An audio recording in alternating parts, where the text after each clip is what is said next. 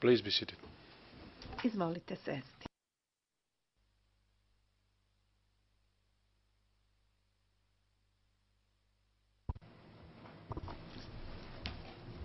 Yes, please continue, Mr. Mikulski.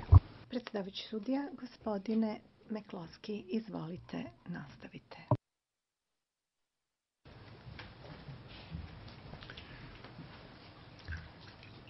Colonel, I Tužilac. Pukovniče, sad kad sam pogledao svoj koncept, shvatio sam da moram da se vratim na presudu da bi nešto razjasnio. I u pitanju je to, sigurna sam da ćete se sa mnom složiti, da presude koje sam spomenuo za ubistvo i progone su se konkretno odnosili na ubijanja u školi Vuk Karadžić i oko nje, a vi ste oslobođeni širih optužbi u odnosu na celu operaciju ubijanja i udruženi zločinački poduhvat. Da li je to tačno?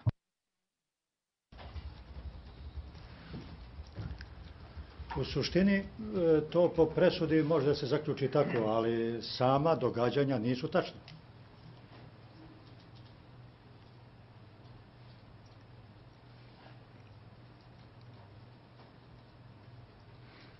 I understand. All right. Razumem.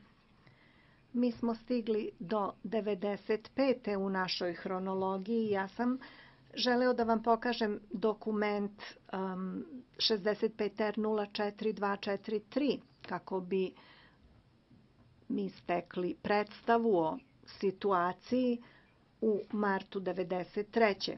95. ispravka prevodioca. U martu 95. još uvijek radite kao operativni u um, sektoru za operativne poslove Drinskog korpusa, zar ne? Da, da, u martu 95. sam još uvijek u operativnom organu komande Drinskog korpusa.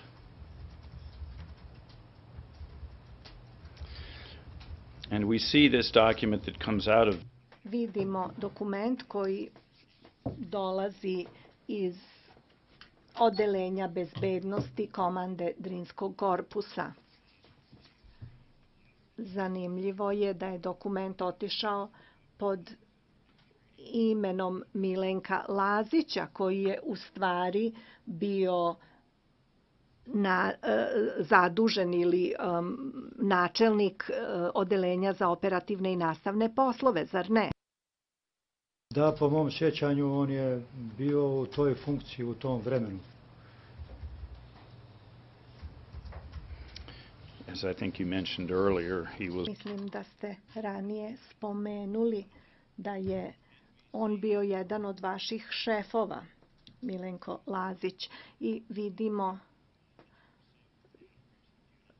iz operativnog odelenja, osim vas i Lazića, koji se spominje na ovom dokumentu, je pukovnik Predrag Jocić. Je li to osoba o kojoj ste ranije govorili? Sam da, da je rečeno Jočić, pa mi je to malo ovaj, pomelo me, ali Jocić, sjetio sam se da, da bi to mogao da bude Jocić, pukovnik Jocić.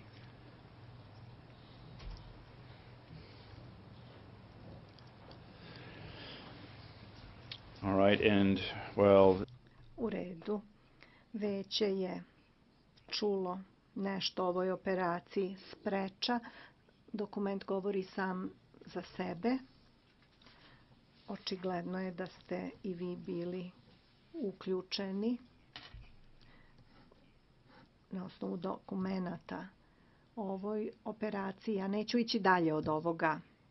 Da li je ovo tačan i istinit dokument što se vas e, tiče? Da li je to vaš potpis na dokumentu? Pa upravo zbog toga ni u kojoj mogućoj varijanti ovo ne odgovara mom potpisu. E sad, ne znam šta je. Ja, pogledajte, nemate nigde ni V, ni B, niti bilo šta što liči na to, na inicijale, bar moguće je da neka druga ličnost to potpisala, ne znam. na moj potpis ni u kojoj varijanti ne liči. Mada ja ponekad i menjam to, ali ovo nema šanse. Ovde je P počinje kao prvo, očigledno, negde u sredini je kao M ili ako je to latinicom pisano, ili R ako je ćirilicom ili Č u sredini kao... Ne mogu, ne mogu da komentarišem, ovo, ovo ne liči da sam ja, ovo nije moj potpis.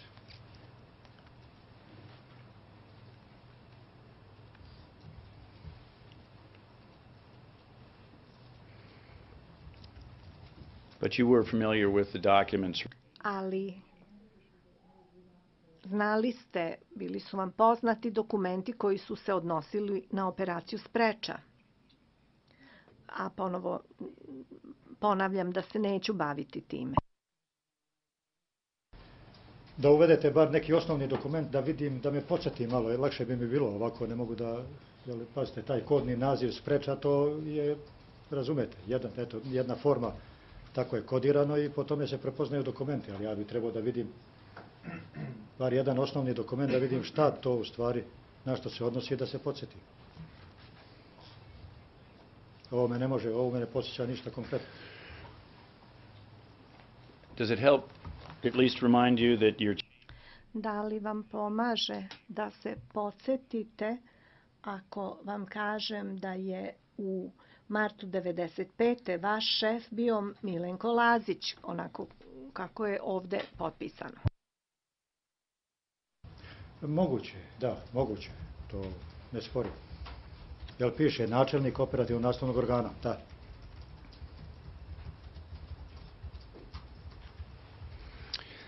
All right, I would offer this into evidence now. Želim da predložim ovaj dokument na usvajanje predsedavajući sudija. Možete li me podsjetiti šta znači spreča na BHS-u? Gospodin Meklovski, ne sećam se. Predsedavajući sudija, možda nam treba pomoć prevodilaca.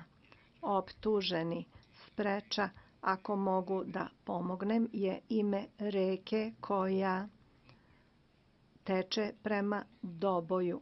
Predstaviš sudija gospodine Blagojeviću, da li vi to potvrđujete? Da, i mene asocira na rijeku Spreču koja u tom rejonu negde tamo postoji. Yes, we will receive it. Hvala vam. Dokument se prihvata. Sekretar časni sude, to će biti dokazni predmet P6569. Now, in this pitanje. U ovom ranom periodu, početkom 95. u januaru, februaru, martu, da li je politika i praksa Drinskog korpusa prema neprijatelju koji je ostao u zoni odgovornosti Drinskog korpusa – a mislim na 28. diviziju unutar Srebrenice i Žepačku diviziju u Žepi, kao i muslimanske snage u Goraždu, da li su, koliko je vama bilo poznato iz operativnog odelenja, iz vaše komande se odnosili na isti način prema civilima u tim enklavama kao i prema civilima unutar plavih zona koje smo videli na karti iz 93. Da li se išta promenilo iz, um, u odnosu na direktivu 4 i dokument koji smo pročitali?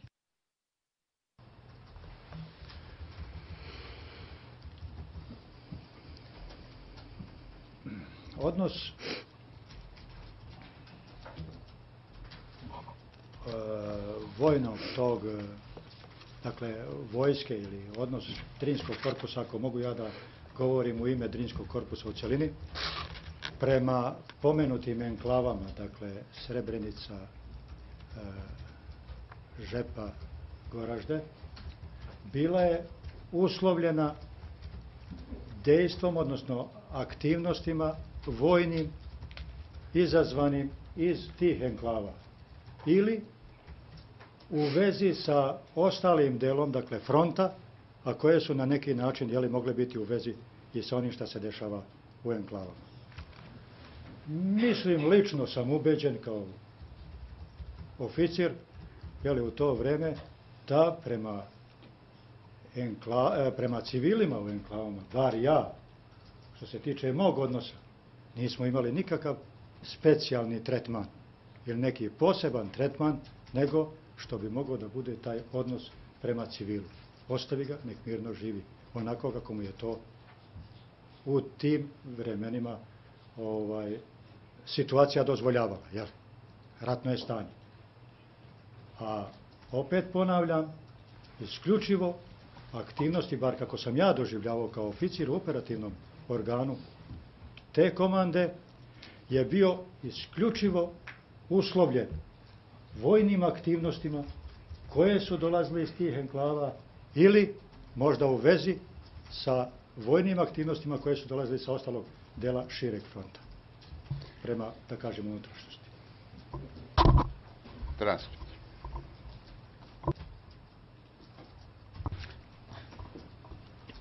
Yes. Izvolite. A na stranici 37 nije ušla cela umetnuta rečenica pukovnika Blagojevića, kaže se odnos prema civilima u svetlu postojeće situacije, ostavi ga, neka živi na miru.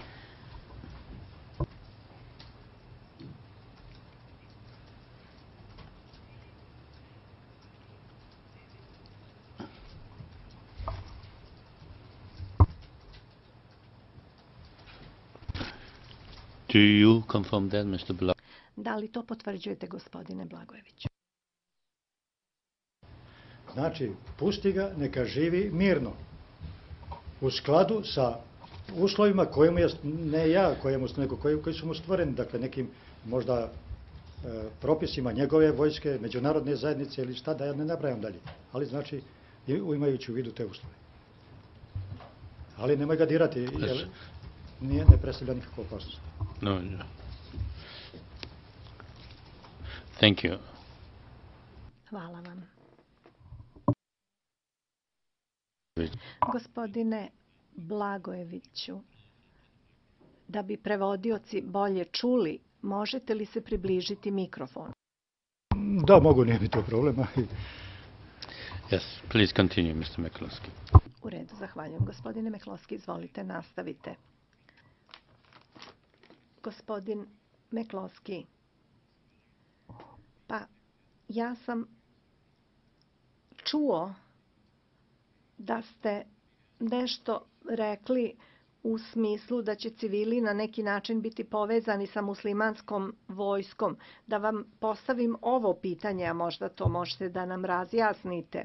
Međutim, siguran sam da ćete se složiti sa mnom da u martu, aprilu, maju, junu, čak i u julu 28. divizija Bosanske armije je a, vršila am, racije, a, prepade na enklavu, kršeći sporazum o demilitarizaciji, ubijala srpske vojnike, napadala srpska sela u okviru politike da angažuje srpske trupe i odvuče ih sa Sarajevskog fronta.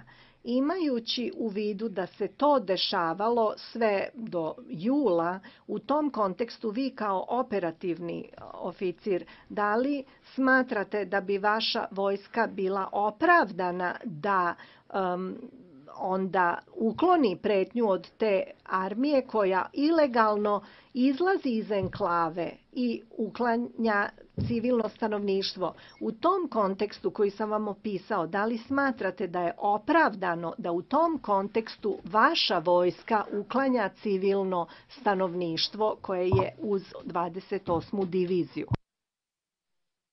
Ako sam vas dobro razumio, ako sam dobro shvatio vaše pitanje, da se odnosi to na uklanjanje stanovništva, na uklanjanje civila.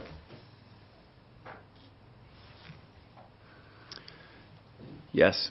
Ne, ne smatram da je to u redu da bi iz tog razloga trebala ovaj moja jedinica da go, dakle govorim onom o, ili moj organ u kom sam pripadao da ovaj ima ulogu u tome.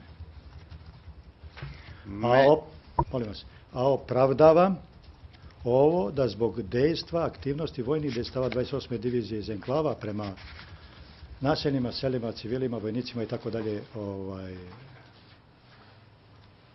prema, dak, dakle, koji su bila, bili iza tog fronta u dubini, ovaj, smatram da je opravdano dejstvo e, srpske vojske. I, I'm not sure. Nisam siguran, kaže optuženi. I'm not sure that they understand. Nisam siguran da se svedok i gospodin Mekloski u potpunosti razumeju u vezi predsedavajući sudija. Optuženi u vezi prevoda, prevoda.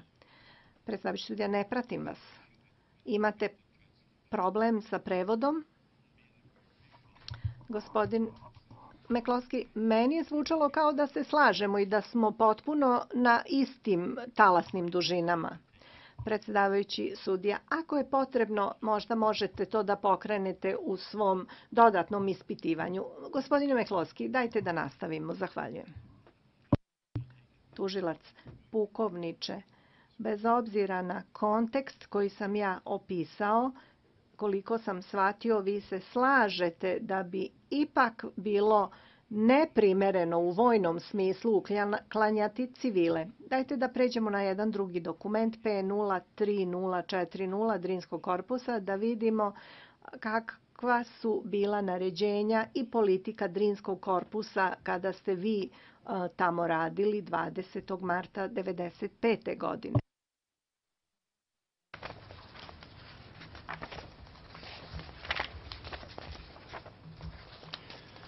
And we can see that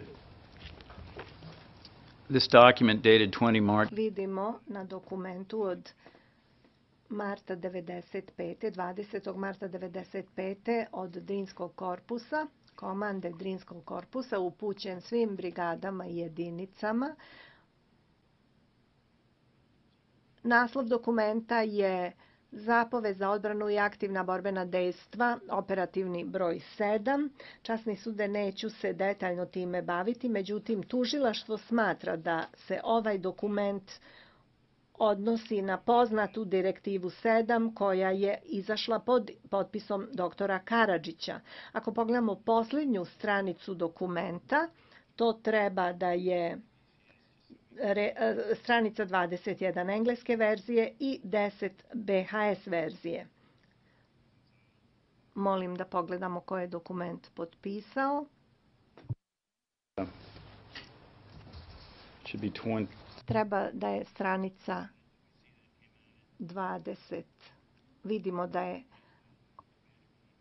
Milenko Živanović potpisao dokument, a da je to sročio pukovnik Milenko Lazić, za koga znamo da je tada bio načelnik operativni. Jocić i Lazić zajedno. To je dokument koji je tada urađen, sačinjen dok ste vi radili u kancelariji sa njima, zar ne? Ne sjećam se te konkretne okolnosti, pravo da vam kažem. Okay. Let's go. U redu. Da pogledamo stranicu 6 u verziji na engleskom.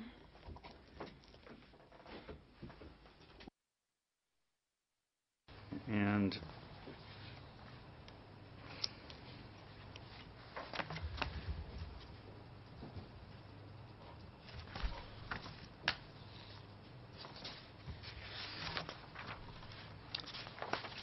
sorry, it's under the tasks of the Drina.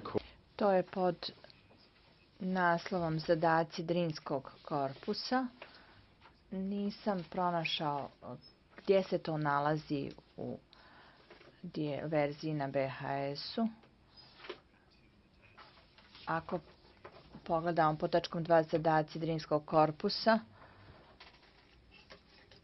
ispod paragrafa 2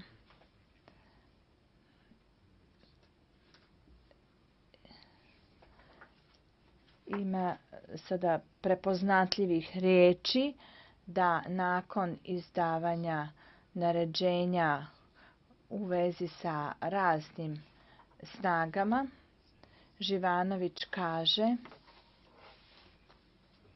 ovo je izradio Lazić, u pravcu enklava Srebrenice i Žepe potpuno fizičko odvajanje, što pre izvršiti potpuno fizičko odvajanje Srebrenice i Žepe, čime spriječiti pojedinačno komuniciranje između ovih enklava, svakodnevnim planskim i osmišljenim borbenim aktivnostima stvoriti uslove totalne nesigurnosti, nepodnošljivosti i besperspektivnosti daljnjeg opstanka i života meštana u Srebrenici i Žepi. And this is directed towards the inhabitants of Ovo se odnosi na stanovnike Srebrenice i Žepe, zar ne? Pa ovom, u ovom tekstu se može tako zaključiti sad. To je kao i drugo.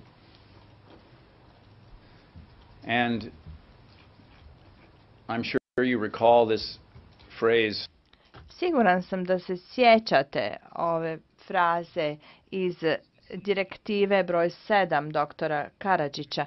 Možete li nam reći čija je odluka da se ta fraza iz direktive doktora Karadžića ponovi u naređenju Milenka Živanovića? Da se ta direktiva pretoči u naređenje. Možda će vas ponovo ljuti, ali ja vam kažem, to ste trebali pitati generala Živanovića.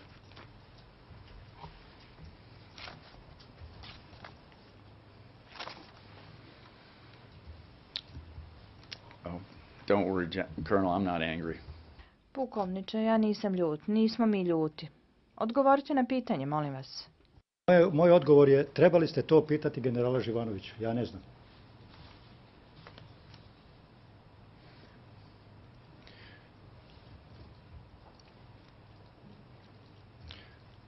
Would General Živanović have any Da li je general Živanović imao diskreciono pravo odlučivanja kada dobije e, zakonito naređenje predsjednika Karadžića i kada treba da proslijedi to naređenje svojim počinjenim komandantima. Živanović je potpisao ovaj dokument, ako se ne varam.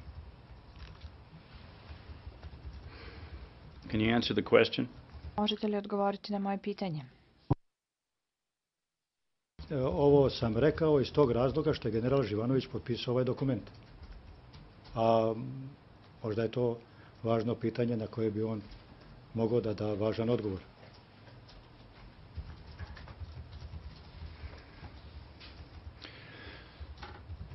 All right, let's let's go. U redu. Idemo dalje. Vi ste postali komandant Bratunačke brigade 25. maja 1995. Je li tako? And uh, let's go to a document about Da pogledamo dokument koji se na to odnosi, a nosi broj 02082 po spisku 65R.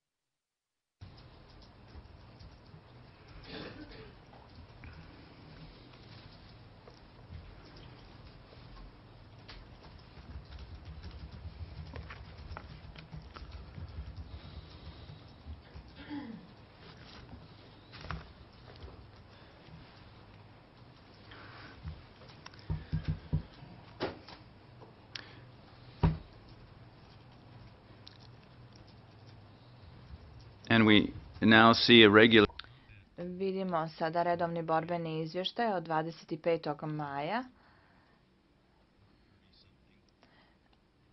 koji je poslat u 4.30, približno to vrijeme, 25. maja i poslat je u vaše ime. Kada ovakav dokument se šalje u vaše ime, da li ste vi odgovorni za to? Mm, Da, ja sam, to je borbeni izveštaj koji ide iz brigade. U suštini odobrava ga, odnosno potpisuje ga komand brigade ili lice u njegovoj odsutnosti, a ovde ne vidim ni potpis, ni ne vidim ni drugo lice, Međutim, malo je, što se kaže, to situacija komplikovanija, ali to je moj dokument, što da kažem.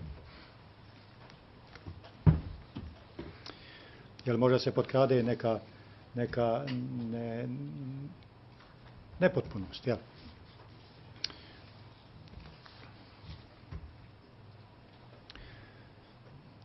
And we can see here that this I vidimo da ovaj dokument pokazuje da ste vi preuzeli dužnost u 10 sati. Ali ono što želim da vas pitam odnosi se na prvi dio u kome kažete naše snage nisu otvarale vatru ka demilitarizovanoj zoni. Da li ste vi bili informisani kada su vaše snage granatirale demilitarizovanu zonu minobacačkom ili artiljerijskom vatrom? Kako se čini iz ovog dokumenta? Pa ne samo e, to, to je ovaj, trebalo upravo i da naredi komandant, to nije, to je ozbiljan posao, ovaj, i, ili neko iz pretpostavljene komande ako je tu pristup.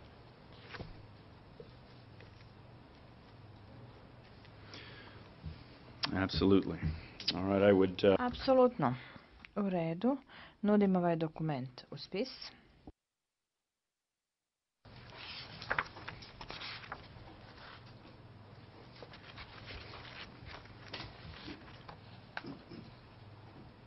Yes, we'll receive it. Predsjedavajući da, uvodi se u spis. Sekretar, to će biti broj dokaza P6570, časni sude. and Colonel, Pukovniče.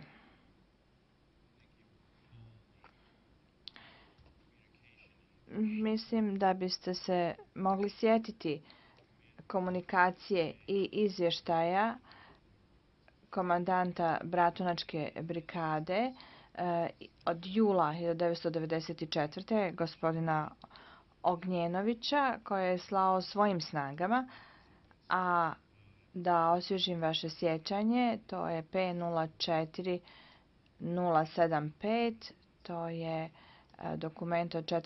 jula 1994. godine od komandanta Bratničke brigade, on se zvao Gnjenović. Treba nam stranica 3 u verziji na engleskom, stranica 2 u verziji na BHS-u. On kaže, moramo nastaviti da naoružavamo, obučavamo, disciplinujemo, i pripremamo e, Vojsku Republike Srpske za izvršenje ovog ključnog zadatka, protjerivanje muslimana iz enklave Srebrenica. Neće biti povlačenja kada je riječ o enklavi Srebrenice. Moramo napredovati. Život neprijatelja se mora učiniti nepodnošljivim i njihov privremeni ostanak u enklavi nemogućim, tako da masovno napuste enklavu čim prije shvate da ne mogu tamo opstati. Ognjenović je poslao ovaj dokument odmah nakon sastanka sa generalom Mladićem. Da li ste vi uradili bilo šta da odgovorite na ovu poruku, ovaj izvještaj komandanta Bratunačke brigade kada ste vi preuzeli komandu?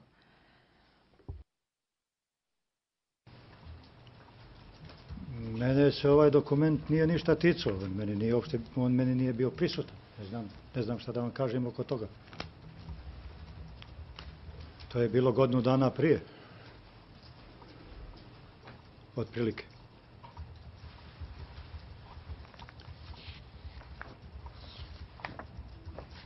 Colonel, this document Dok, pukovniče, ovaj dokument je pronađen u arhivi VRS-a. Mi smo to dobili od Bratunačke brigade. Vi tvrdite da je to protuzakonito naređenje. Da li vi kažete da protuzakonito naređenje da se protjeraju muslimani iz Srebrenice, koje je izdao bivši komandant, nema nikakve veze sa vama? To se vas ne tiče. E, oprostite, rekli ste da ja tvrdim da je ovo protuzakonito naređenje. That's the prosecution's position that it's To je stav tužilaštva, da je to protuzakonito naređenje. Ovaj, Gospodine tužioce, ja nisam istoričar. Ja sam komadant, oficir. Ja sam došao, primio sam dužnost, upoznao se sa stanjem u brigadi i nastavio rad u ulozi komadanta u toj brigadi.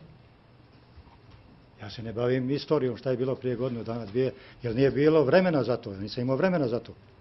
Posle možda kad se pojavi vreme, evo ili sad evo ova situacija navodi nas na to da izučavamo i ta dokumenta koja su već bila u nekom vidu dio istorije.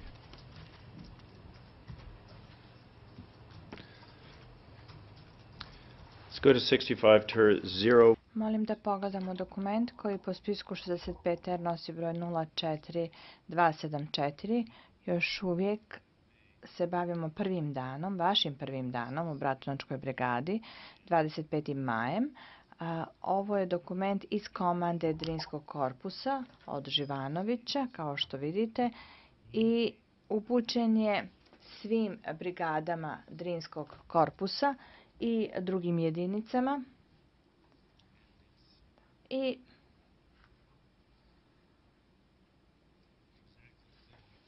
nije sasvim jasno u koje vrijeme je poslat taj dokument, ali ako pogledamo neka druga dokumenta, možda ćemo e, steći predstavu o tome.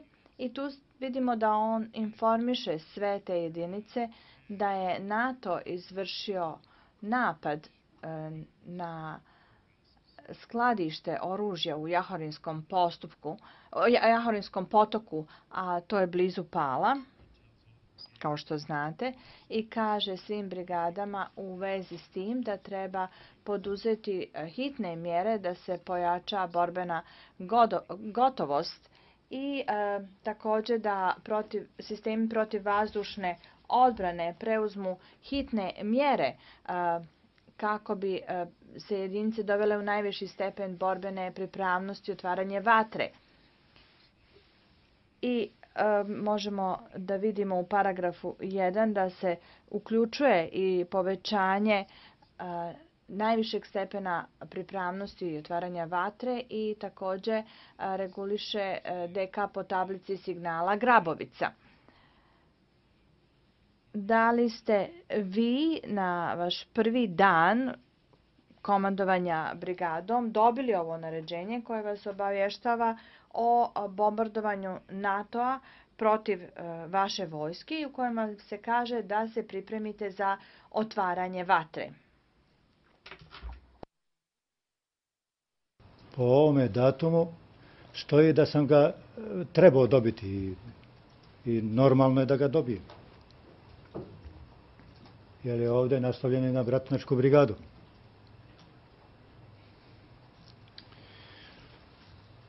All right, I'd offer this into evidence. U redu, nudim ovo u spis. Predsjedavajući da. Sekretar, to je broj dokaza P6571, časni sude. Gospodin Miklovski, molim da se sada pozove P04076. Pukovniče, vidjet ćete, ovo je varedni borbeni izvještaj poslat pod vašim imenom i vidimo da je ovaj barem dostavljen u 21 čas i 10 minuta 25. maja. Upućen je komandantu Drinskog korpusa. Preskočit ćemo na kratko na paragraf 3, jer tu kažete preduzete su mjere prema vašem naređenju strogo povjerljivo broj 08 kroz 8 povlaka 60 od 25. maja.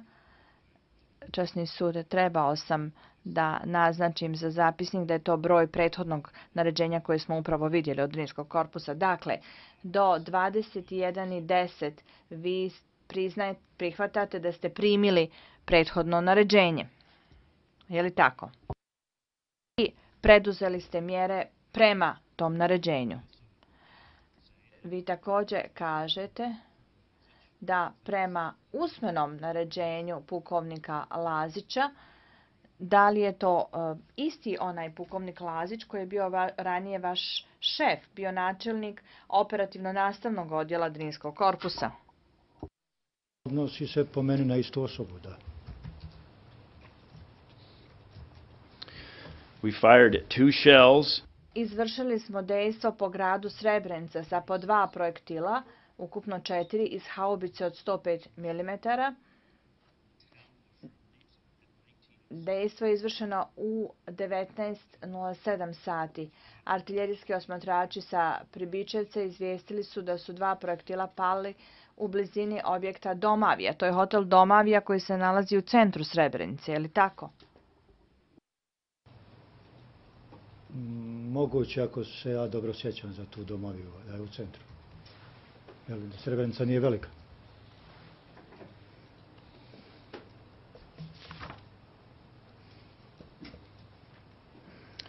and the other two shells, they don't know where they a za druga dva projektila se ne zna gdje su pali, nisu osmotrena. Je li tako?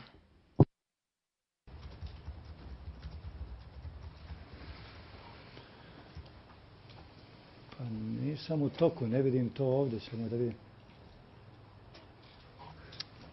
look at the first paragraph. A, Pogledajte prvi paragraf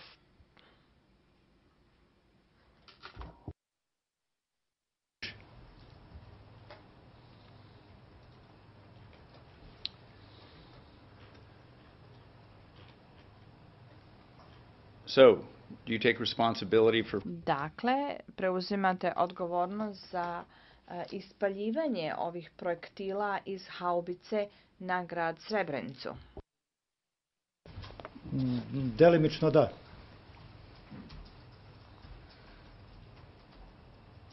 what do you mean partly? Šta mislite po tim djelimično? Toga zbog onog što ste pročitali usmenim naređenjem pukovnika Lazića, on je bio tu.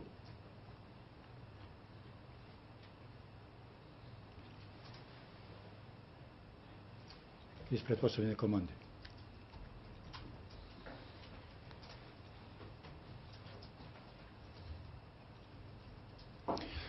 Yes, he shares Da, on dijeli tu odgovornost.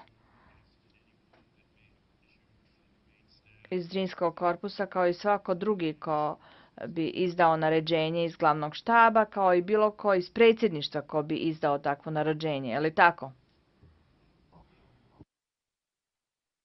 To naredio je, bio je tu.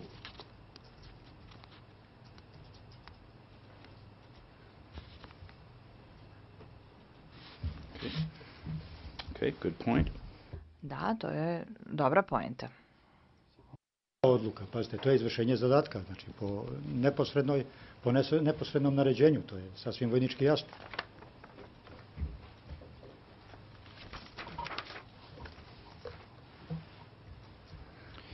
Yes, let's go to exhibit A, da pogledamo dokaz koji po spisku 65 ter nosi broj 25799.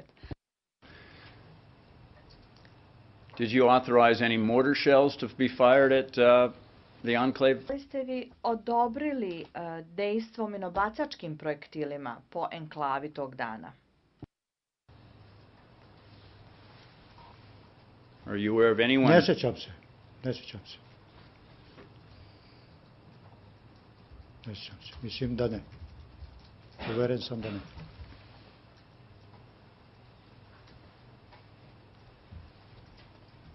You didn't, okay. Niste, u redu. Da li bi bilo ko drugi e, djelovao minobacačkim projektilima po enklavi Srebrenica tog dana van vaše komande?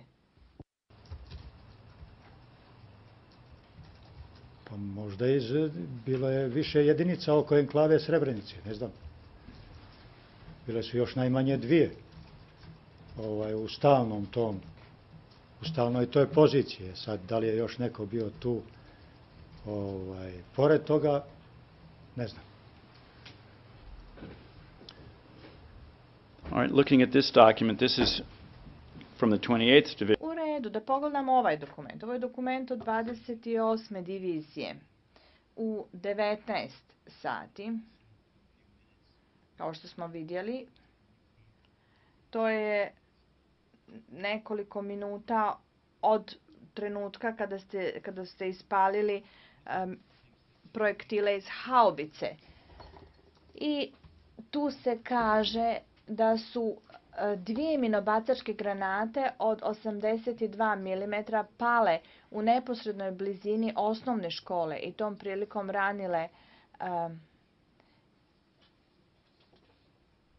jedno dijete i ranile drugo. Verovatno se sjećate, riječ je o desetogodišnjoj e, djevojčici koja je preminula tog dana. Vi te stvari znate bolje nego drugi. Da li se ta da li se minobacački projektil, minobacačka granata od 82 mm mogla e, pobrkati sa e, projektilom iz haubice od 105 mm kada padne na tlo. neke stvari. Meni ste nešto ovdje izmešali, ja nisam vas dobro shvatio. Hoćete ponoviti malo ovaj opet gde su ove minobacačke granate 82 mm? Hoćete ići redom, molim vas.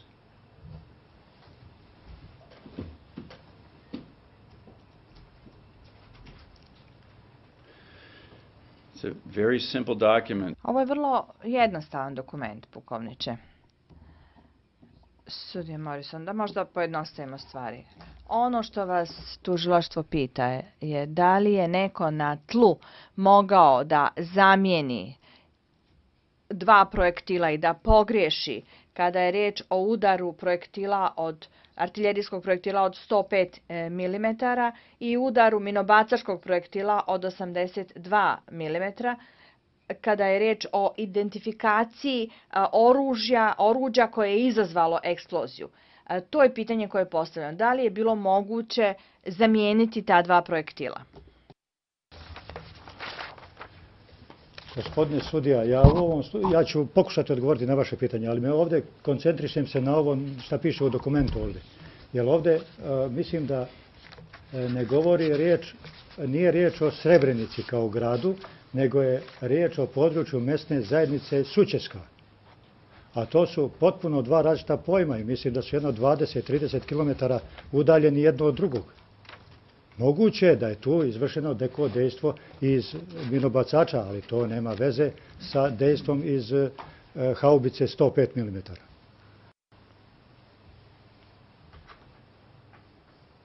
Jer ne radi se o istoj o istom rejonu, ne radi se o istom mestu, nego su potpuno dva različita mjesta koja su e, 20 km razmaka.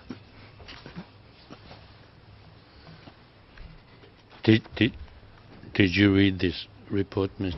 Da li ste pročitali ovaj izvještaj, gospodine Blagojević? Možete li ga pročitati pa ću vam onda postaviti pitanje. Prvi put ga gledam.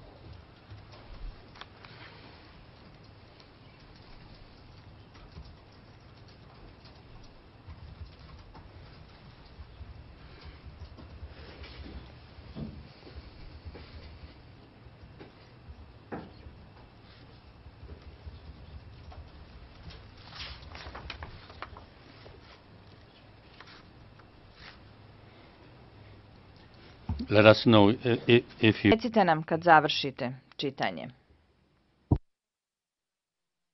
Doktorica je ova bila u Srebrenici, a ova djeca su bila u mesnoj zajednici Sučeska, koliko. Yes. So this Da. Dakle, riječ je o dva mjesta koja su granatirana. Srebrenica i Sučeska. Absolutely, and we know they're right. Gospodin Klaski. Da, apsolutno i mi znamo da su oni odmah jedno pored drugog, udaljeni par kilometara. Mislim da ste to već rekli. Možemo li se sada vratiti na pitanje uvaženog sudije? Može li se neko zabuniti kada je riječ o udaru e, projektila iz haubice i udaru minobacačke granate?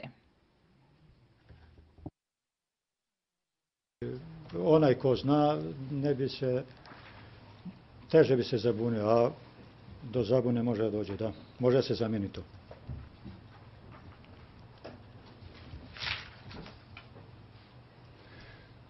As you'll recall, your unit Kao što se sjećate, vaša jedinica nije osmotrila gdje su pala dva e, projektila iz haubice, a vidimo da su dva pala na Srebrenicu. Naime, vi ste, vaši osmatrači su vidjeli da su dva pala na centar Srebrenice, dva su izgubili, e, nisu ispratili. I to je bilo u približno isto vrijeme. Dakle, ima izgleda, mada to nije izvjesno, da su e, ta, ta dva projektila iz haubice pala na Almazu Gabeljić. Zar ne? To je, to je nagađanje, jednostavno to, to ne bi ja ulazio u tu sferu. Artiljerija je malo ovako sofisticiranija stvar. Okay, well, perhaps U redu. Možda je neko drugi pucao u isto vrijeme. Nudim ovaj dokument na usvajanje. Predsjedavajući da usvaja se sekretar, to će biti broj dokaza P6572, časni sude. Gospodin Miklovski, molim da se sada pozove dokument koji po spisku 65R nosi broj 25746.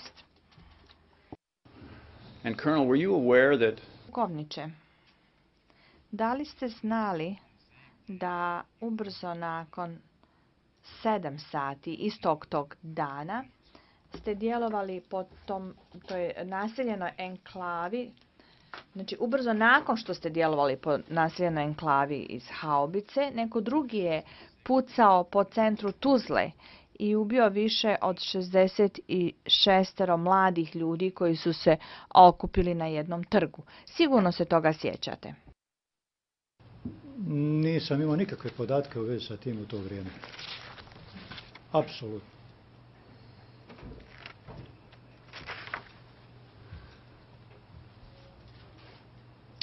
Let's go to the, we see this Vidimo da je ovo izvještaj Umprofora, da pogledamo sljedeću stranicu u verziji na engleskom, a u verziji na BHS-u bi to trebala da bude prva stranica. Gospodin Robinson, gospodine predsjedavajući, ja ulažem prigovor na bilo kakva pitanja o detaljima ovog granatiranja. Kao što se sjećate, tokom izvođenja dokaza odbrane, naš vještak je pripremio izvještaj koji se odnosi na ovo granatiranje i koji je isključen. I kao rezultat toga mi nismo bili u mogućnosti da izvodimo dokaze u vezi s tim, a, tako da nije fair da tužilaštvo a, se dalje bavi ovom činjenicom da su granate pale na Tuzlu.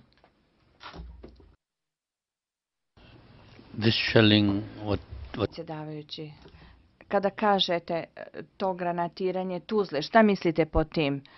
Gospodin Robinson, 25.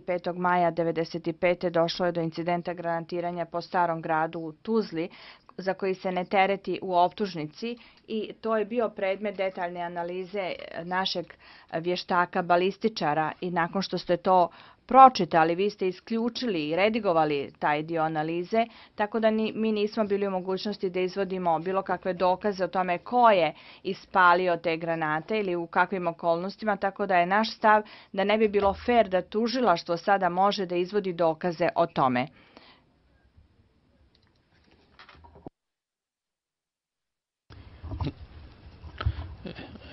Hear from the prosecution. Izvolite da čujemo šta tužilaštvo ima da kaže. Tužilac časni sude u redu. Odbrana je specifično odlučila da pozove pukovnika Blagojevića, a stav tužilaštva je da je on prvog dana uzeo učešće u koordiniranom naporu sa ostalima brojnim jedinicama VRS-a u granatiranju bezbednih e, zona, zaštićenih zona, osim žepe. Ovo govori o njegovom učešću u ovim događajima i o njegovom saznanju ovim događajima. A ovo je bio uvod za napad na Srebrenicu. Videli ste dokument o tome da život treba učiniti nepodnošljivim i to je deo konteksta ovog slučaja.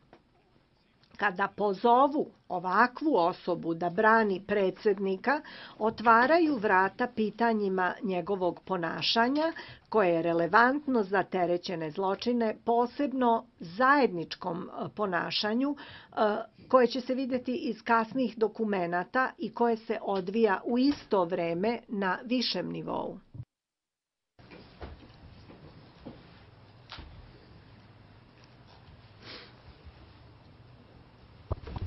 Mr. Robinson, isn't there a distinction between the technical Sudija Morrison, gospodine Robinson, zar ne postoji razlika između tehničkih aspekata granatiranja o kome se govori i onoga što je ovaj svedok možda znao, a možda nije znao o tome, o činjenici granatiranja. Gospodin Robinson, da, ja se slažem, ja sam pokušavao sam da napravim tu razliku, međutim ovaj dokument spada u prethodnu kategoriju, a ja sam to pokušavao da izbegnem.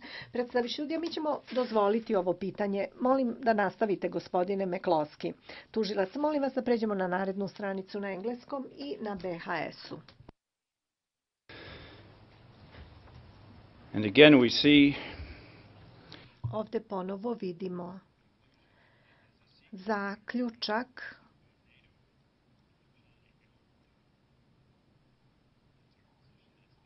Da nakon zračnih udara NATO-a na skladištu municije na Palama, a naš stav je da je to ono što se spominje u dokumentu VRS-a koji smo upravo videli i da je um, BSA um, se um, onda reagovala na granatiranje protiv Tuzle. Tuzle.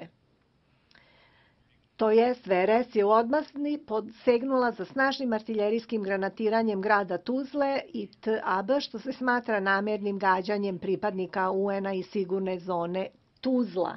Granatiranje je počelo u 19.10. Istovremeno su granatirani TAB i sigurna zona Tuzla do 21 čas zabilježena je 31 granata, od kojih je 13 palo i oko tabu unutar 500 kvadratnih metara, 2,5 km od baze.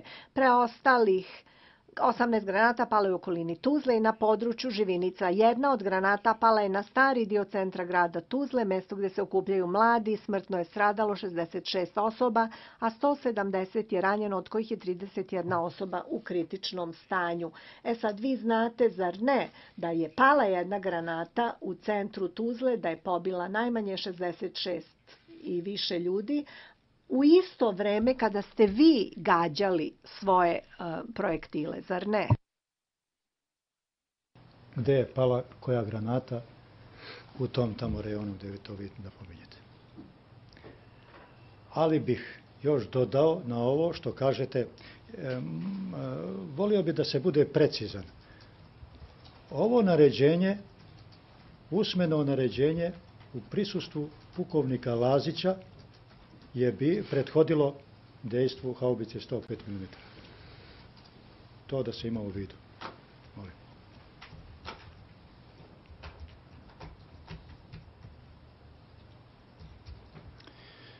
All right, but you U redu, ali slažete se da je najmanje 66 mladih ljudi ubijeno tom granatom te večeri To je činjenica u Bosni.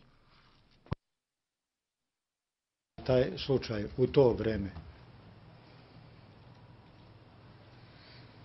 It's not my question. You know it. To nije moje pitanje. Vi to znate ubrzo. Posle toga ili sada. Znate da je to istina. Pa ja to čujem sad od vas, ali ja u to vrijeme nisam bio obavešten, niti sam znao da je neko izvodio neka dejstva ili da je neko proizvodio neke žrtve na nekoj strani. Ja zato ne znam.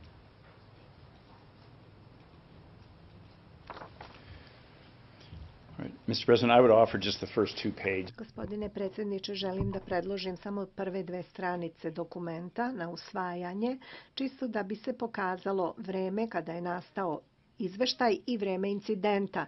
Mislim da niko neće osporavati incident u tom smislu, a pitanje ko je to tačno uradio je sekundarno u odnosu na ono što sam ja pitao, kao što mislim da možete i sami da odredite. Predstavit sudija gospodine Robinson. Gospodin Robinson, dokument je pročitan. Ne mislim da ima potrebe da se dokument uvrsti. Predstavljajući, pa mi smo skloni da se složimo s tim. Gospodin Mekloski, gospodine predsjedniče, 66 ljudi zaslužuje više od samog čitanja. To je možda jedina, um, jedina zabeleška o tome. Ja bi voleo da to uđe u zapisnik.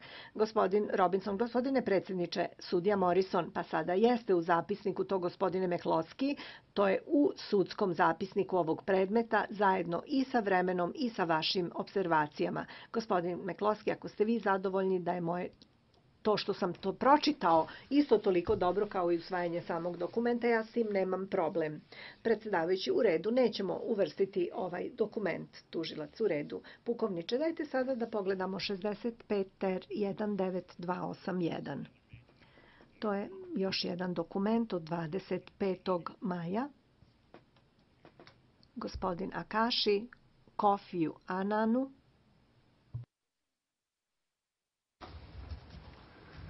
And in it, it notes just in the first Tu se u prvom paragrafu kaže da nakon vazdušnog udara od 25. maja 1995. godine sve bezbedne zaštićene zone osim žepe su granatirane, a bosanski Srbi su ispalili teških oružja sa pet um, tačaka uh, sabirnih za oružje oko Sarajeva. I neću čitati ostatak. Tako da onda um, vi jeste tih dana i meseci posle ovoga e, znali da onog dana kad ste vi ispalili svoje granate na Srebrenicu, da su takođe gađane i druge e, sigurne zone. Ne, nisam znao. I would offer this document Želim da predložim ovaj dokument na usvajanje. Predsjedavajući sudija, dokument se prihvata.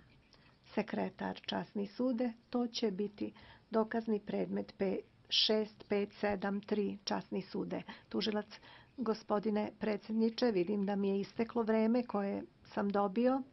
Ja imam još 30 minuta. Nemam nameru ponovo da prolazim dokume, događaje u Srebrenici, ali želim da završim jedno područje svog ispitivanja u odnosu na neke događaje u Srebrenici, ako mogu. Predstavić ljudja, mi obično ne ograničavamo vreme. Obično smo vrlo fleksibilni kada je to u pitanju. Međutim, danas stvarno imamo prešu.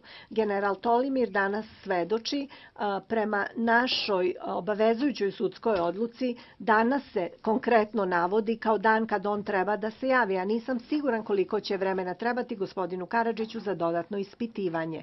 Gospodin Robinson, da, e, gospodine predsjedniče, general Tolimir je ovde i njegov pravni savjetnik, tako da ja predlažem da jednostavno suspendujemo ispitivanje pukovnika Blagojevića, pozovemo generala Tolimira, možemo da završimo s njim do 12.30, a onda ćemo imati više vremena um, u preostatku dana. Gospodin Meklovski, ja mislim da je to odlična ideja i vrlo cenim taj predlog. Predstavići, gospodine Blagojeviću, da li vi pratite?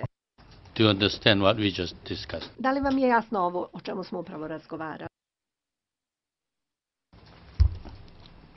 Uh, how much time would we need to Koliko nam je potrebno vremena da pripremimo sudnicu?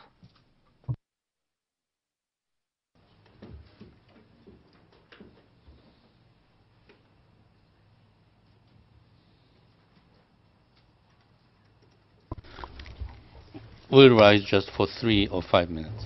Predstaviš sudija, napustit ćemo sudnicu na 3 do 5 minuta. Molim ustanite.